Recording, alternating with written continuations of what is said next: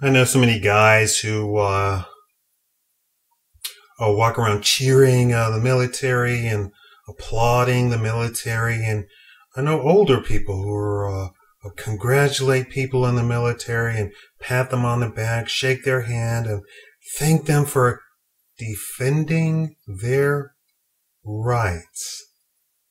Right.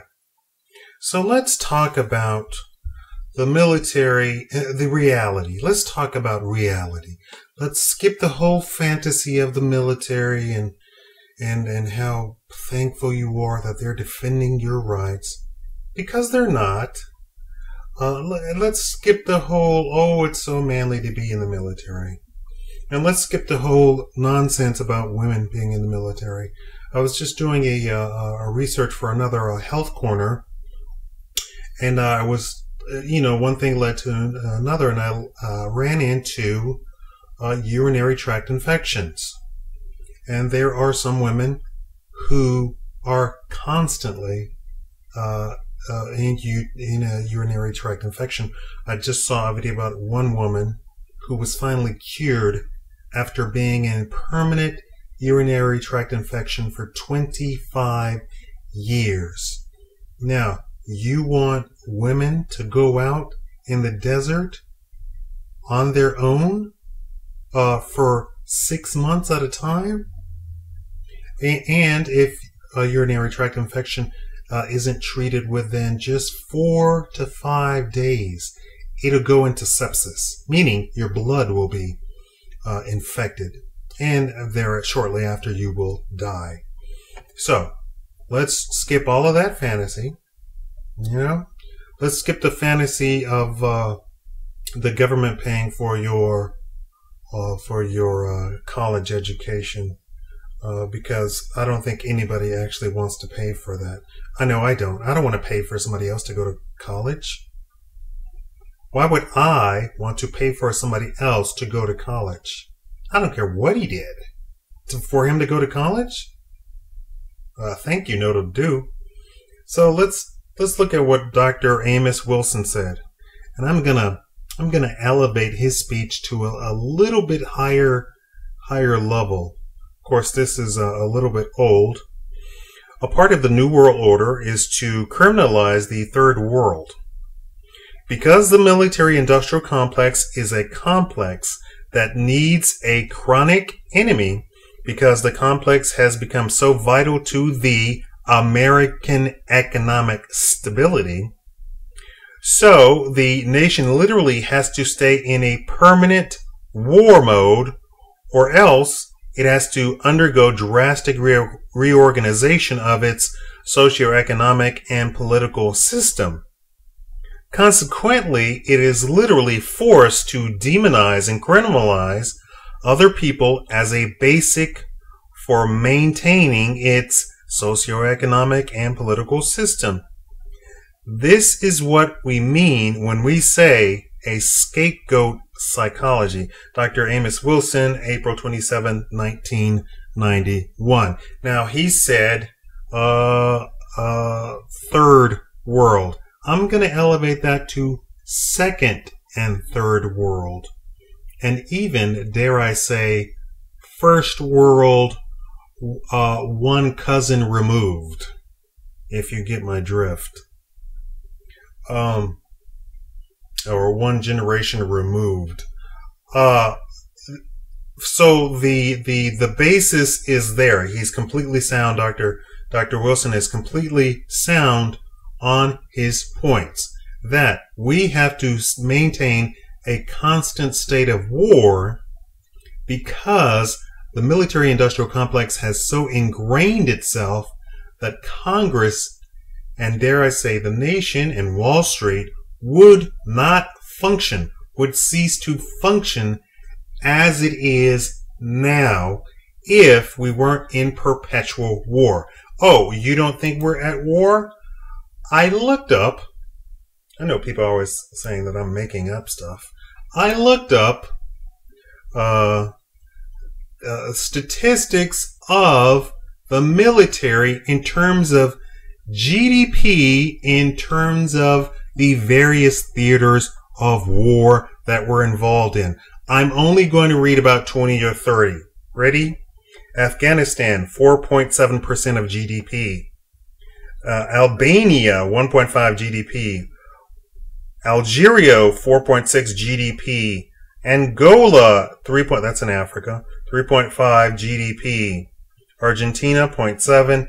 Ar- Armenia, 4.4% GDP. Australia, 1.9 GDP. Austria, 0.9 GDP. Azerbaijan, 4.9 GDP. Uh, Bangladesh, 1.3 GDP. Uh, Belarus, uh, 1.1 GDP. Belgium, 1.1 GDP. Uh, Belize, 1.1 GDP. Bolivia, 1.5 GDP. Let me read the bigger ones here. Let's see here. Um, Chile, 3.2 GDP. Colombia, 3.3 GDP. Let's see here. Ecuador, 3.5 GDP. Uh, Georgia, which is over by Russia, uh, 3, 3% GDP. Greece, 2.8% GDP. Uh, India, 2.5 GDP. Iraq, 5.1% GDP. Uh, Israel, 6.8% GDP. That's a staggering number. Jordan, 4.7% GDP. Uh, Lebanon, 4.4% GDP. Uh, let's see here.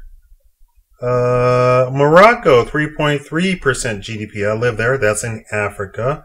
Although it was overrun uh, by Arabs, and of course they slaughtered the Africans that lived there. And uh, now the Moroccans all look Arab. They don't look black like they were when they overtook uh, half of Europe.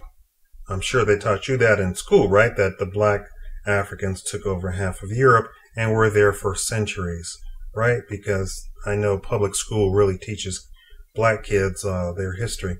Uh, Namibia, Namibia, uh, 3.4% GDP, and I lived in Morocco for some time.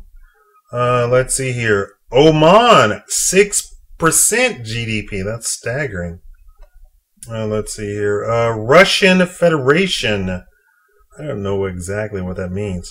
3.9% GDP. Saudi Arabia. 8.4 GDP. Singapore, 3.6 GDP. Swaziland, that's in Africa, 3% GDP. Uh, there's just so much. Uh, let's see here. U.S. alone, 4.7 GDP. Uh, so that's that's including all the bases across the United States, and it still comes to only 4.7 percent. But did you hear what I said about uh, Israel. We spend more in Israel than we do in our own country. So that is, we have to keep up in all of these bases uh, to uh, keep the military industrial complex going. Now, they made an announcement, right? You all heard it. Next Friday, we're going to go to World War III. That's what they said. Obama said he doesn't know.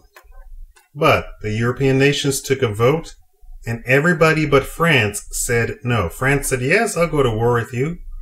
Uh, but all the other nations, Great Britain, Germany. Right, now, I think Great Britain said no because the uh, Irish people said absolutely not. Obama is a traitor. He's treasonous and he's treasonous to the people of Ireland. Get him out of here. Why are you transporting uh, nuclear weapons or weapons uh, when we are a neutral country? You cannot be transporting weapons uh, in our territory and on our airports. That is that is against our treaty. We will not uphold and stand by this Obama character. That's what Ireland said. And I believe that uh, oh, because that went to such great publicity that uh, the you know the uh, Englanders also uh, said, "Oh no, we won't have none of that. We can't we can't tolerate that." So I ask you, why do you really think we're going to go to war, world war in Syria. World war in Syria. What do you think is so important about Syria? Now, keep in mind what I just said about the quote. Keep in mind what I said about the updated part of the quote that I say it's second world and first world. Uh, one cousin uh, removed. uh, what? Why do you think Syria is so important that we're going to go to World War Three? The countries are already lining up, choosing sides already. They're taking they're taking votes on who they're going to side with and what they're going to do. Who's going to stay out? Sorry for scratching my nose. What they're going to do? Who's going to stay out? Who's going to stay in? who's going to help who and who's not going to let uh, who fly over their territory. Right? France is all of a sudden so so nice and uh, uh, uh, allied with us. I, I don't know what's going on there. That doesn't sound correct. Germany said no. Anyway, thank you for watching the Shakaama live show. Uh, tell me why you think Syria is that important to go to World War III over.